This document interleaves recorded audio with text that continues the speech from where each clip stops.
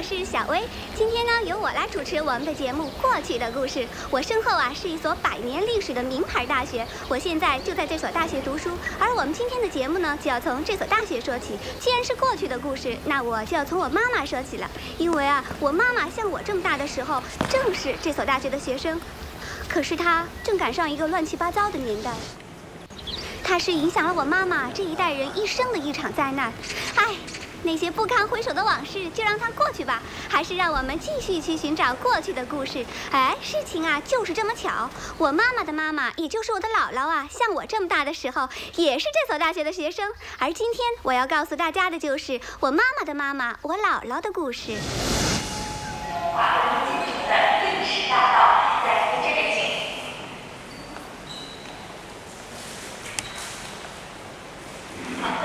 那历经蛮荒的原始社会，从夏商周三代开始，中华民族进入到了奴隶制社会。脚踏历史大道，举目眺望星空。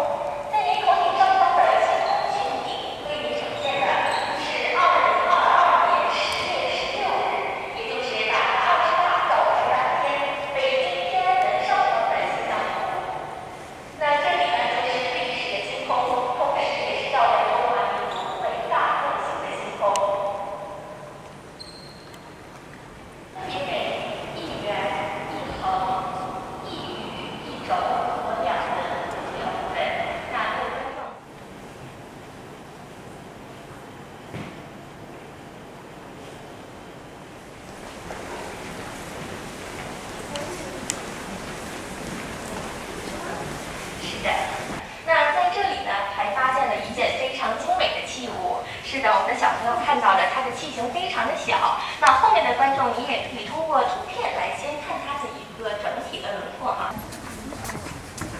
各位观众，在您的右手一侧呢，为您演示的就是我，们的原始森林的生产与生活场景了。那穿过这条时光隧道，您即将看到新石器时代满天星斗般的中华文明了。值得一提的，就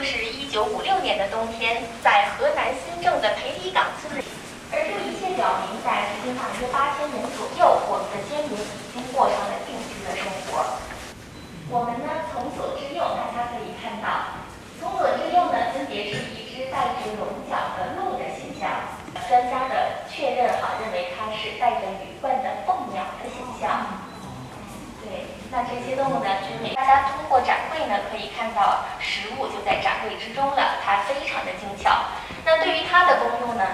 专家认为可能只是古人的一种小玩具，北可种植捕捞，可以说他们是聚群而居，自给自足的。来您这边请好，地质灾害来临之时，面条是被整碗的扣在了地上，那经过泥土的掩埋，它得以保存下来。那由于面条的出土改变了埋藏环境，所以很快的也就风化成粉末了。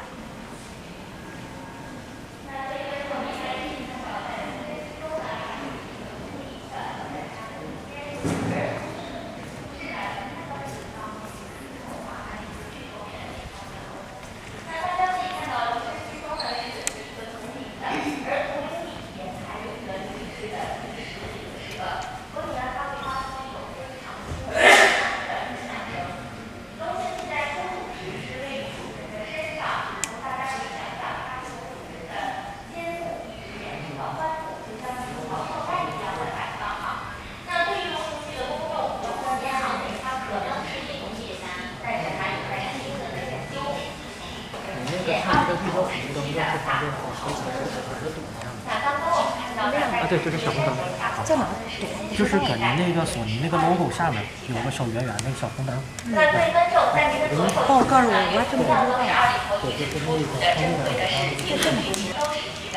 成套的石器展示。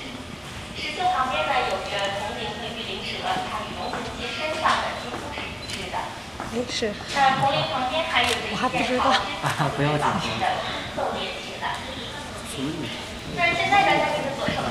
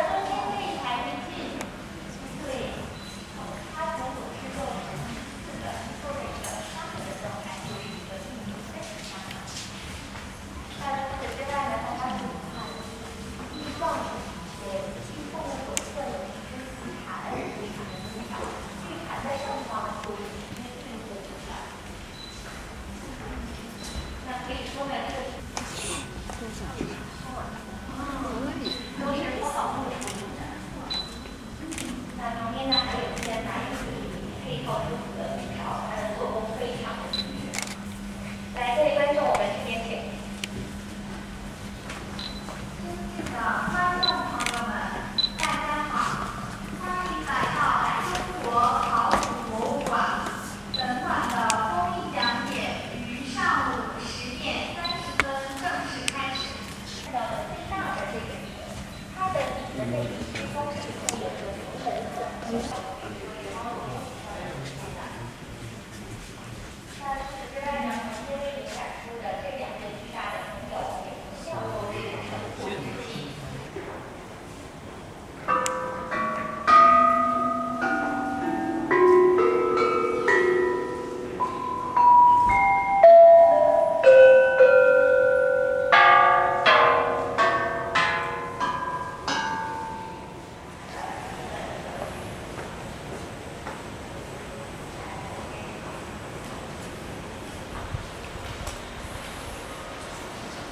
Okay,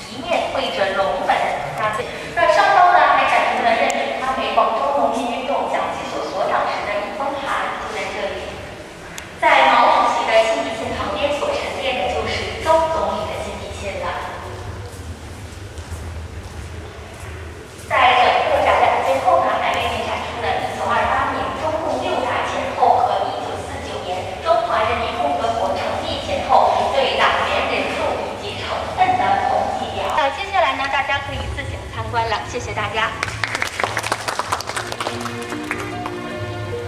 私の父さんの父さんすなわち私のじいさん昔日本軍について中国を侵略したことがありますその時に悪いことをたくさんしましたこの間彼が亡くなる瀬戸際に私の代わりに中国に行きなさい亡くなられた方々の霊魂に謝罪をし全ての中国人に謝罪しなさいと強く言われました希望继续关注我们的节目《过去的故事》，讲一讲过去的故事，有时候也是很开心的，对吗？